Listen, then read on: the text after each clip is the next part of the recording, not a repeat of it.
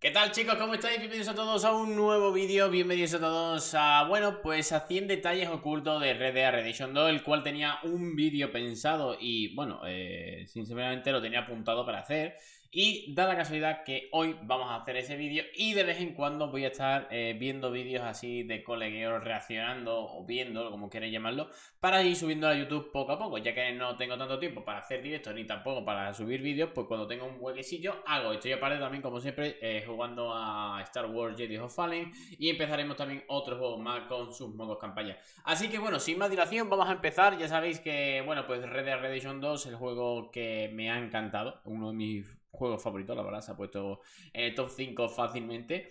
Me ha encantado, me ha gustado muchísimo y bueno, como hace poquito que me lo pasé, pues tengo que ver estos 100 detalles ocultos de Red Dead Redemption 2, así que let's fucking go de los Salle que protagoniza uno de los mejores videojuegos que hemos visto en los A ver, a ver, a ver, a ver, venga, primero. Dead Redemption 2. Ahí estamos. Me hablaros de su psicología, del concepto familiar que hay detrás de cada uno de los integrantes de su grupo. Pero ya que este es un vídeo de detalles, hoy os contaré un centenar de ellos que se esconden en su mundo y que hacen que nos quitemos, nunca mejor dicho, el sombrero Ojo, cómo juega con las palabras. Antes de empezar, ¿te gustan los eSports? Eh, me gusta, déjame. gigantesco. Ocho durante dos con los Venga, sí, por favor. 2, Counter Strike 2, Honor of Kings, del evento Venga contará con torneos dedicados a cada juego, además de otras no recomiendo en absoluto iros del lugar porque moriréis congelados. Primero vuestro caballo y luego vosotros. Yo ya os he avisado. Hablando de nieve. Ah, pero te vas por este fuera y te como termina la misión. Mira, tío, el puto zorro de los cojones lo que hace, tío. Si lo comparamos con la realidad, el trabajo de Rockstar es de auténtico. ¡Qué cabrón! Si Arthur va semidesnudo en el prólogo de este videojuego, los miembros de su banda le soltarán comentarios inéditos. En el trópico. ¿Qué llevas puesto? Dice. Fool, Arthur Morgan. You'll catch your death. Arthur Morgan es un personajazo, es creíble, muy humano. Para mí, mi personaje favorito, sin ninguna duda. Obviamente eres el protagonista, eres el puto protagonista de, de esto, de este juego, pero me encanta la, carisma la carisma que le han puesto a este personaje, tío. Arthur Morgan puede ir cantando canciones, pero para hacerlo puede o no estar borrachillo. Y he visto, tío, al, al hombre que imita, bueno, que pone la voz de Arthur Morgan, tío, es la en polla. os podéis encontrar un pianista tocando la canción de Jingle Bells, detalle que es muy realista ya que esta canción se compuso en 1857.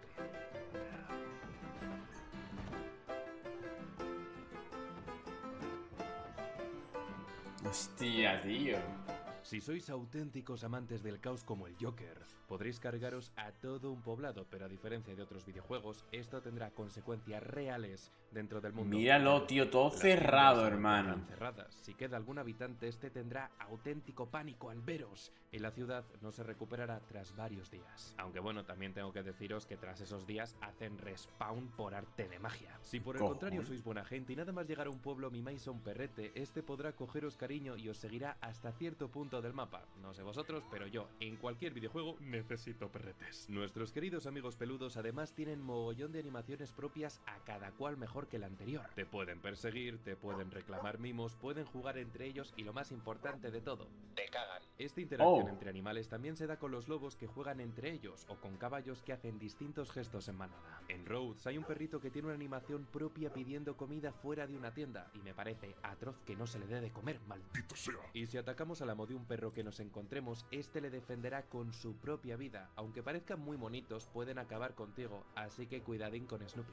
Si golpeáis la campana de Rhodes a las tantas de la madrugada estaréis cometiendo un delito y varios NPC os dirán de todo menos cosas bonitas. Pescar en los videojuegos está genial. Lo hemos visto en Animal Crossing, en Zelda Twilight Princess, en Pokémon, pero no hay nada como pescar en Red Dead Tío, pues me parece pescar es una mierda, ¿eh? encontrar peces legendarios que no son Yarados. Si al pescarlos los sostienes durante demasiado rato, se te van a morir en las manos. Muy triste. Aunque más trágico es pescar en Ansburg porque la contaminación del lugar habrá afectado incluso a los peces. En este juego nos podemos poner a insultar a medio mundo y eso mismo provocará que tengamos serios problemas. Pero si agredimos verbalmente a una mujer joven e indefensa, esta no nos puede responder y nos atacarán los hombres de su alrededor. ¿En serio?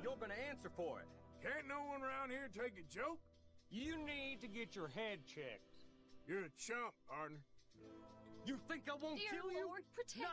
Si por el contrario somos groseros con una señora mayor, esta procederá a pegarnos unos buenos guantazos. Where did you folks meet? The freak show? Oh, you're gonna regret saying that. I won't hesitate to kill you. Míralo, tío.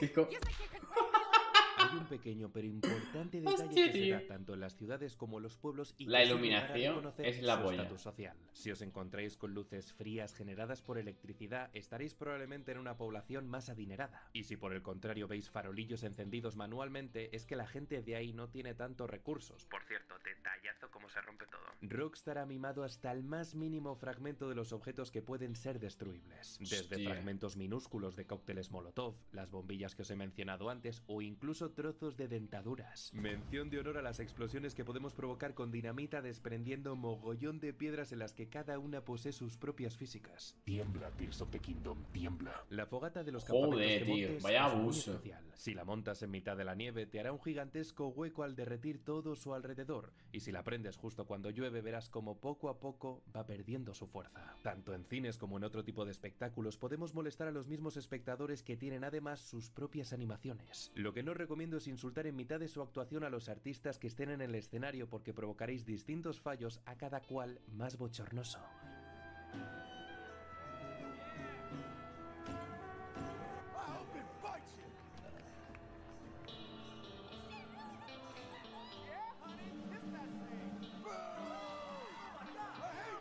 Hostia. La serpiente, tío.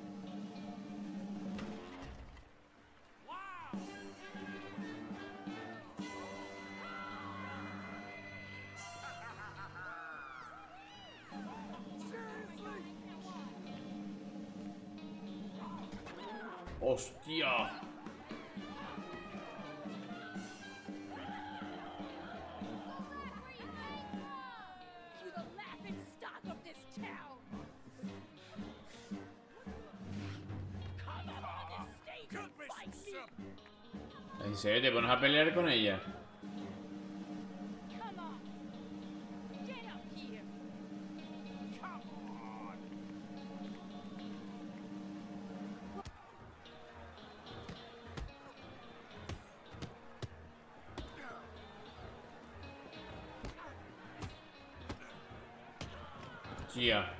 El fuego en este título está más prendido que bomba estéreo. Si prendéis fuego dentro de una casa podréis ver... Te quedas helado, tío, con las cosas, ¿eh? poco a Es poco que flipas, tío. Hasta afuera, pudiendo llegar a romper hasta los cristales de las ventanas. Esto también sucede con las tiendas de campaña que casi te desaparecen por completo y ves todo. Pero no penséis que solo el fuego posee unas físicas de infarto, porque también luce espectacularmente Eso es verdad, tío. agua. Si nos vamos con nuestro caballo y damos vueltas, podremos provocar leves torbellinos o si tiramos bombas, se ¿En notará serio? perfectamente el impacto provocando una onda expansiva ultra detallada. Si os sigo hablando del buen ¿Cojones? agua, que es muy importante beberla, os tengo que decir que al meternos en un lago, nuestro personaje alzará lo máximo posible sus brazos para no empapar su arma. Pero es que hará lo mismo nuestro caballo alzando su cabecita para no ahogarse. Si tiramos una persona a un río, alzará su cuerpo para que el agua no cubra su cara y para que no termine ahogándose. Hostia, tío. Por ende, si le recogemos y nos metemos de lleno en el agua y dejamos que no pueda sacar su cabeza, No puede va ser. a terminar ahí muriéndose. Imagino que todos sabéis la típica curiosidad de los pelotazos de los caballos. Pero ¿sabíais que algunos de ellos poseen las marcas de sus amos? Veas el caso de los Braid White que marcaron con una resultona B a sus pura sangre. Eso sí, no intentéis llamar a uno de vuestros caballos Sarah Jessica Parker, porque eso está más que prohibido. Los caballos no solo pueden sentir la sensación del cansancio o incluso podemos notar en ellos cómo respiran y cómo se mueven sus músculos. Con ellos también podemos ver cómo sienten miedo, llegando a asustarse de otros animales que consideran peligrosos. Y hablando de animales, ojito al gran caimán de la misión del pantano, porque si no le paramos, a quien se va a comer es a nuestro compi Dutch. Él no lo ¡Hostia! sabe, pero nos acaba de ahorrar muchos problemas. Como estaréis notando, Rockstar ha mimado al extremo a los caballos en este videojuego. En el primer Red Dead estaban bien, cumplían su función como medio de transporte e incluso nos regalaban una de las mejores escenas vistas en este medio. En esta ocasión, los caballos poseen una vitalidad mucho mayor. La verdad que sí, tío.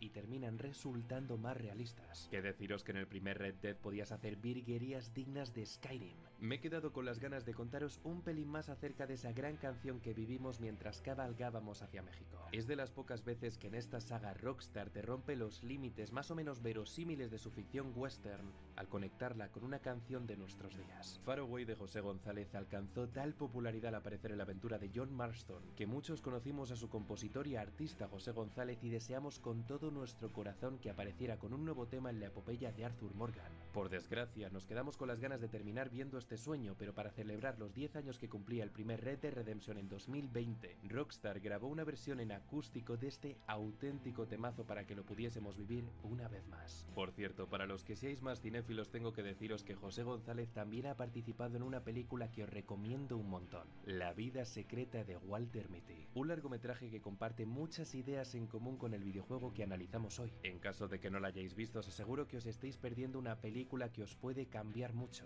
que puede sacar lo mejor de vosotros y que os impulsa a lo más importante de todo, a vivir. De forma aleatoria os pueden aparecer distintos NPC que os retarán a carreras de caballos y al perder... Esto lo he hecho yo muchas veces, tío. a sus propios caballos, Eso lo he hecho muchas, muchas veces, hermano. De su derrota. En la época en la que se contextualiza este videojuego había 45 estados federados presentes en los Estados Unidos de No América. puede ser. No había los 50 actuales y eso mismo se ve reflejado en su bandera que si la miráis con lupa tiene 45 estrellas, dejando a un lado a Oh. Hawái, a Arizona, Alaska, Vaya México uso, hermano. La interacción entre animales está a otro nivel en este juego. No sé cómo lo terminarán haciendo con GTA 6, pero veo muy difícil superar el trabajazo que aquí se ha hecho. En este vídeo os voy a dar muchísimos ejemplos como ya estáis viendo, pero para que os hagáis una idea, Rockstar ha cuidado y animado cómo una ave caza su presa y se la lleva volando. Cómo vuelan en grupos distintos pájaros, cómo un oso consigue su pescadito haciendo una mega referencia hermano oso, o cómo una zarigüeya al vernos se hace la muerta.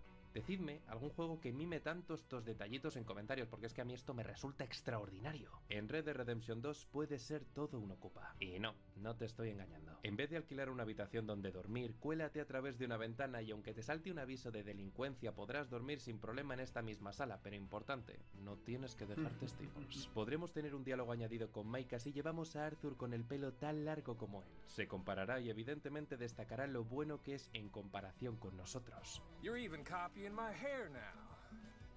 What do you want? Always full of sunshine, ain't you?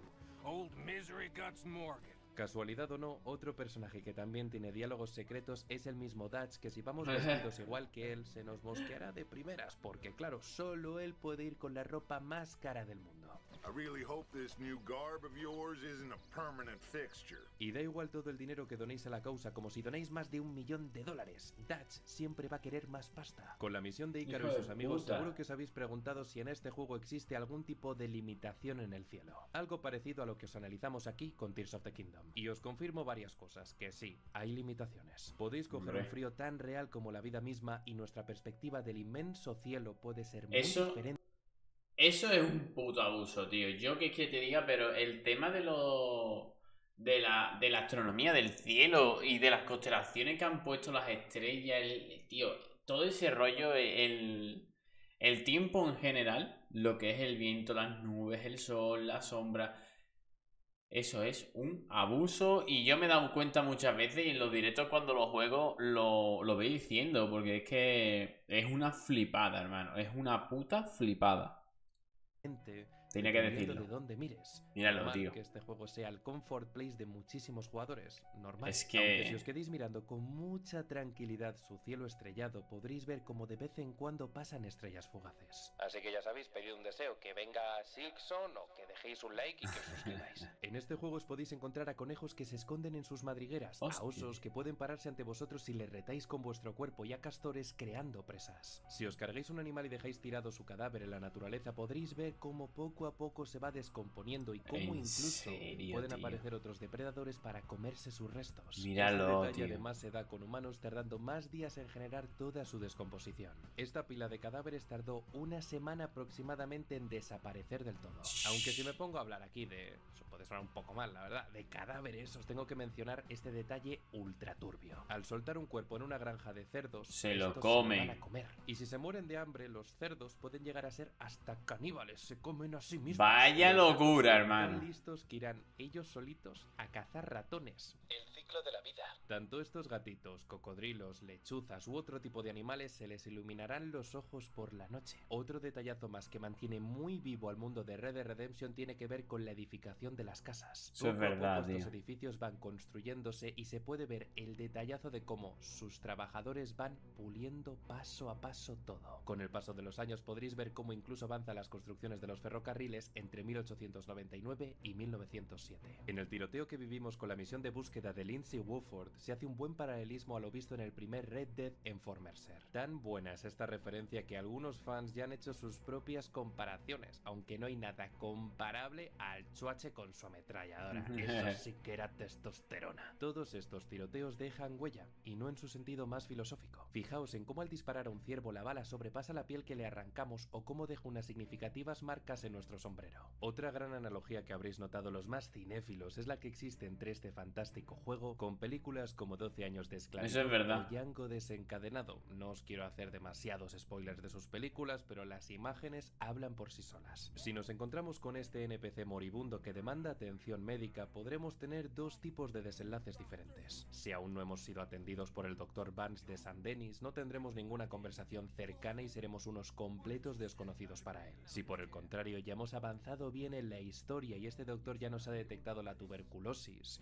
mantendremos una conversación más amable. Conforme avanza la historia, Arthur Morgan va dibujando y anotando todo lo que vive. Algo parecido a lo que veríamos posteriormente en The Last of Us Parte 2 con Ellie, pero ¿sabíais que tanto Arthur como John Comparten esta afición? Además, Arthur tiene más mano para el arte que John, como podréis ver en esta comparativa. De hecho, a John se le da muy mal. Otra sutil pero importante diferencia entre ambos protagonistas se da en su manera de apuntar. Arthur lo hace con ambos ojos abiertos y John, por su parte, tiende a cerrar uno, demostrando que tiene menor experiencia. Seguro que recordéis la ciudad de Strawberry, esa urbe en la que te cargas a toda la población, pero es que su tendedero principal es cojo. Únicamente tiene una pierna y eso mismo Rockstar Hostia. hasta lo ha reflejado en sus animaciones. Que no se diga que os recomiendo lo que voy a decir, ¿eh? Que no se diga. Pero en este juego podéis engañar a borrachos mintiéndoles y al hacerlo podéis hasta provocar su muerte No puede ser. siquiera tocarlos. Sí, Oh. Esa ya no se recupera. Pero es que hasta podéis dar dinero a un vagabundo borracho, hablar con él tranquilamente y después quitarle el dinero de sus manos. Pero claro, él va a reaccionar de manera agresiva. ¿Qué esperáis? En caso de que seáis vosotros los que habéis cogido un pedal enorme, os recomiendo tomaros un buen café y notaréis cómo baja de golpe vuestro mareo. Si disparáis a un tanque de agua podréis fijaros en cómo va perdiendo agua muy poco a poco hasta que desaparece del todo. Y si os da por disparar a una barca con la que estéis ¿En navegando, serio, tío? porque se va a hundir vuestro navío. Quiero que escuchéis conmigo Joder, las chaval. sabias palabras de nuestro querido director. Arthur recoge algo que hemos visto en juegos como The Witcher 3 a la hora de mostrar el paso del tiempo, y también nos permite ver cómo la barba o el pelo crecen en él. Está bien ir más o menos cuidado porque el aspecto en el mundo de Red Dead Redemption 2 es algo importante de cara a nuestras relaciones con la gente. Vaya que si en este juego se ha cuidado la personalización del protagonista que incluso sumo la curiosidad de que en algunas escenas largas hasta se le puede ver crecer el pelo a Arthur Morgan. ¿Cómo te quedas, eh, Rapunzel? ¿Cómo te quedas? El reverendo Swanson es un personaje que pierde todo lo que ama y termina entregándose a la mala vida. Aunque le veamos leer la Biblia y practicar, entre comillas, su fe, realmente esconde drogas dentro de su libro. En la misión Idealismo y Pragmatismo tenemos una quedará. muy importante.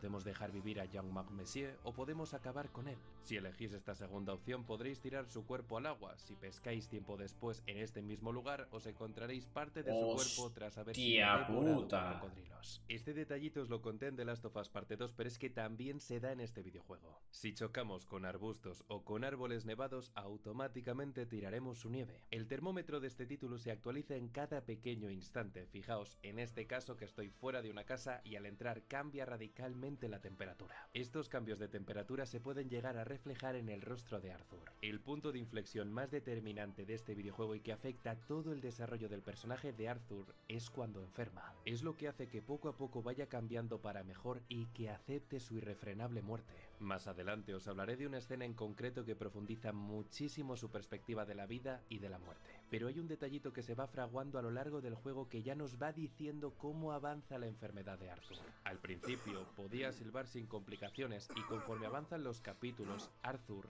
empieza a toser. Si silbáis todo el rato llegará un momento donde nuestro personaje necesitará tomar aire. Cuando Arthur no tenía tuberculosis podía fumar sin problemas y tras contagiarse por esta enfermedad tose cada vez que fuma. Además, si fumáis delante de un sheriff, preparaos bien para ser detenidos. Si por casualidad Coño. roban el caballo, tan solo tenéis que silbar para que vuelva a vosotros. En el primer Red Dead no podíamos romper las ruedas de un vehículo aunque las disparásemos muy de cerca. ¿Y Por ahora sí? contrario, en el título de 2018 Hostia. podemos ir rompiéndolas muy poco a poco, llegando incluso a resquebrajarse por completo al cederse su peso. Hay una manera un tanto provocadora de comprobar si tenemos a un auténtico NPC ciego delante de nosotros. En este título vais Eso me ha pasado a mí, tío. Así, y para averiguar si lo son, tenéis que hacer esto: apuntarles con vuestra arma. Si son ciegos, no les verás asustarse, pero si no lo son, reaccionarán y después tratarán de justificarse. Si estáis viendo este vídeo es que os mola la prensa de los videojuegos y sobre todo este precioso arte en general. Pero ¿sabíais que dentro de este videojuego destacan tres medios diferentes? El Blackwater Ledger, la New Hanover Gazette y el St. Denis Times. Cada uno perteneciendo a un estado diferente y narrando puntos de vista completamente distintos sobre un mismo suceso,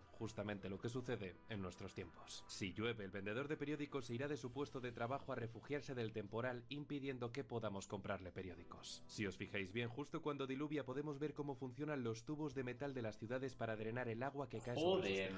En la comisaría de esta ciudad podemos ver que uno de los crímenes que ha cometido su ciudadano Stanley Lightfoot es el de mestizaje que en 1899 estaba penado por la ley. Si pasáis por la ciudad de San Denis os habréis fijado que hay varios árboles pintados de blanco. La razón por la que están así es para evitar plagas de insectos que puedan dañar a estos mismos árboles. Otra función que cumple esta pintada llamada blanqueo es que los troncos no se sobrecalienten en épocas veraniegas. En esta misma ciudad cambia su tren entre 1899 y 1907. Muchísimos NPC Qué puto abuso, tío, es que- en este juego. Atención a este recital. Si vamos a restaurantes nos podremos fijar que los NPC de verdad interactúan con la comida. Cachito a cachito se la van terminando. Conforme gastemos munición con nuestras armas, esto se verá reflejado en ellas tal y como podéis estar viendo en este revólver. También podemos hacer acrobacias con este arma como podéis estar viendo. No va más allá de lo visual, pero queda de locos hacer estos truquitos. Las flechas tienen sus propias físicas y continúan moviéndose una vez que las disparas. Además, puedes usarlas para mover la dirección de los molinos. Dependiendo de nuestras acciones o de nuestras vestimentas, los NPC de nuestro alrededor nos dirán unas cosas u otras. Si nos caemos delante de algunos, se reirá de nosotros. Si vamos manchados, no tendrán problemas en decírnoslo. Y es más que posible que algún que otro vaquero nos desafíe a un duelo. Además, si engordamos lo suficiente, algún que otro NPC nos lo destacará con diálogos nuevos.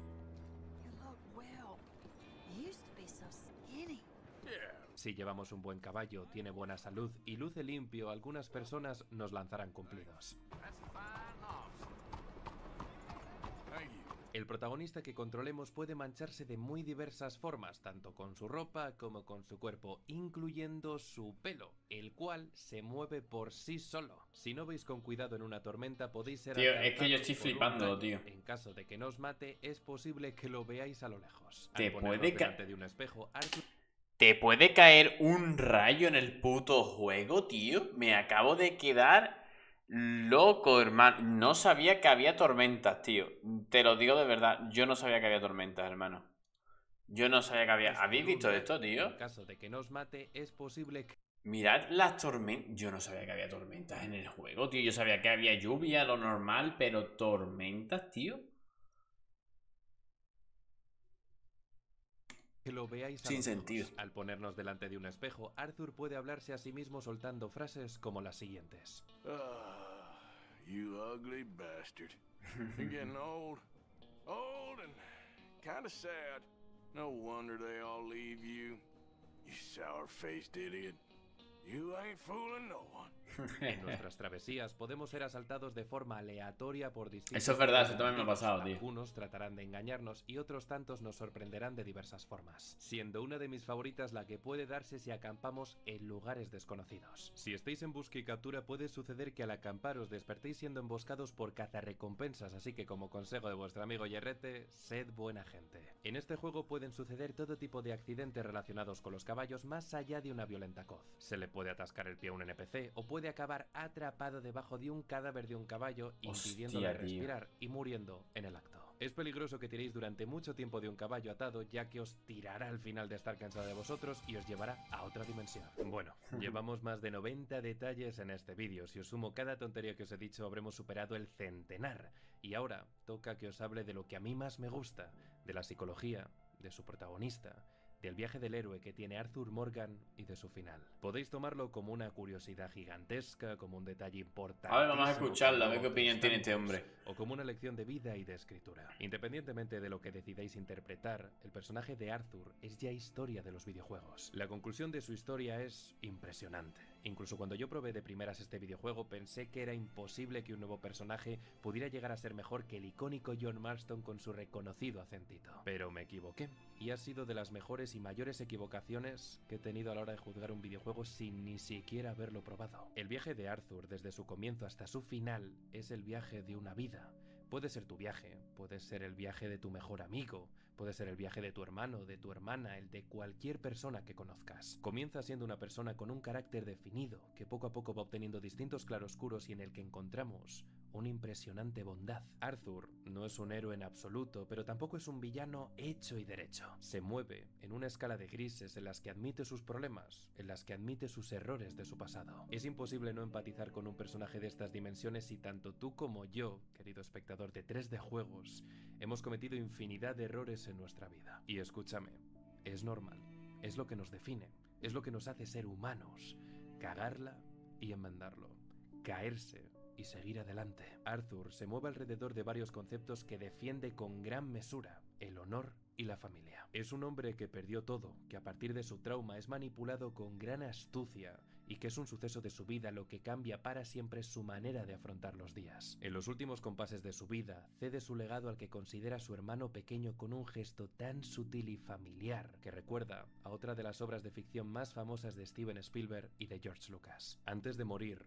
Arthur pierde a su caballo, a su inseparable compañero, y es justamente en este mismo lugar donde cae, donde tiempo después podréis ver cómo han crecido distintas flores rojas, justamente unas amapolas, Hostia, simbolizando tío. la paz y el descanso de Arthur. Si habéis Me terminado la partida madre que parió la tumba juego, de tío. Arthur estará repleta de vitalidad. Tendrá un mensaje grabado que contendrá mayores palabras de afecto y no aparecerá a su lado un coyote guardián. Este oscuro canino puede ser o bien un lobo o bien un coyote teniendo en cuenta la ubicación donde se dan los sucesos de Red Dead Redemption 2. Simboliza el deshonor, como nos hemos enfocado en el egoísmo y eso mismo ha provocado nuestra soledad. La paleta de colores es exageradamente triste.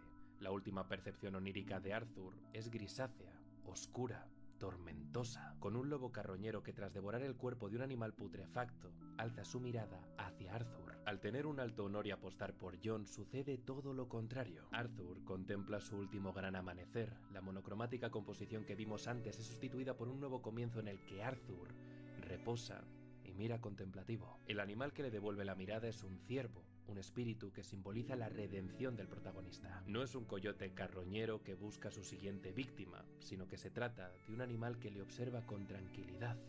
Pausa su mirada durante unos breves instantes y se va en paz. Los actos que ha ido haciendo Arthur tienen consecuencias Es un reales puto juegazo, tío. tanto con él como con John Marston tiempo después. Uno de los detalles que mejor lo demuestra es que podemos encontrar grabado el nombre de Arthur en el Memorial Hall si fuimos caritativos con su causa. Cerraré este videazo con un análisis muy particular de una de mis escenas favoritas de este videojuego y que pienso firmemente que es la mejor de todo el título. No porque despunte frente a la mediocridad, sino porque es de las pocas veces que vemos a un protagonista, a una figura simbólica que ha arrastrado una gigantesca mochila de piedras, derrumbarse, caerse, admitir su miedo, admitir que teme a la muerte y a lo que ésta conlleva. La conversación que mantiene Arthur Morgan con la hermana Calderón toca el corazón de cualquiera que haya experimentado en su vida lo que es perder a algo o perder a alguien.